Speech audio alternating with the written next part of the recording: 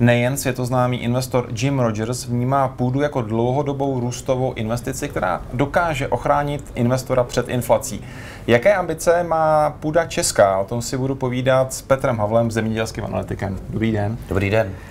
Jaké kouzlo, investiční kouzlo má podle vás půda?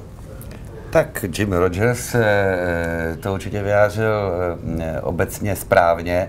Eh, je to skutečně bezpečná investice, která vlastně dlouhodobě neustále je výhodná, protože cena půdy nejen v zahraničí, ale právě třeba v České republice a vůbec v zemích, kde nebyl trh s půdou v minulosti, tak poměrně dynamicky stoupá dynamicky stoupá. My víme, když se díváme, jak stoupá akciový trh, teď ten český zrovna padá, že má svůj index, že se dá měřit. Jak je měřitelný právě ten cenový vývoj, co se týká českého podání české půdy? Jaký je tam vývoj? Vývoj je eh, měřitelný prostřednictvím eh, různých výzkumných úkolů, eh, kde celá řada institucí sleduje trendy ve vývoji cen půdy, případně trendy ve vývoji vlastnictví půdy. A ty trendy v České republice jsou zcela jasné.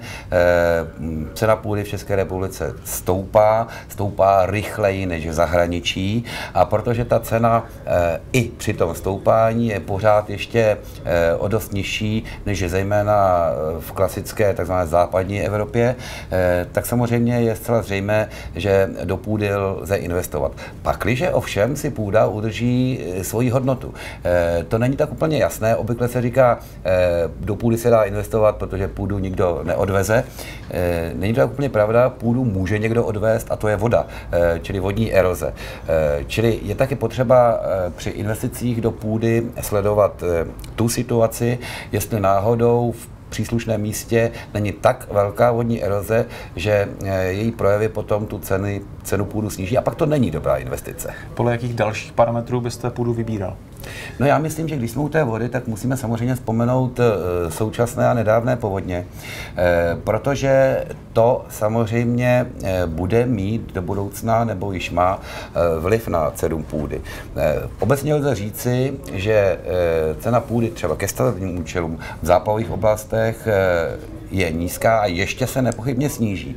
E, další věc je, že e, v záplavových oblastech, a již to bylo veřejně deklarováno, a já myslím, že to nakonec vlastně správný postup, e, může dojít k vyvlastňování půdy. Samozřejmě to není tak, že by ten majitel za ní nic nedostal, ale patrně za ní nedostane tolik, jaká by byla tržní cena příslušného objemu nebo plochy půdy tam, kde k vyvlastňování nedojde. Čili kdo chce investovat, měl by si například eh, projít eh, rozvojové plány obcí a různých tedy regionů.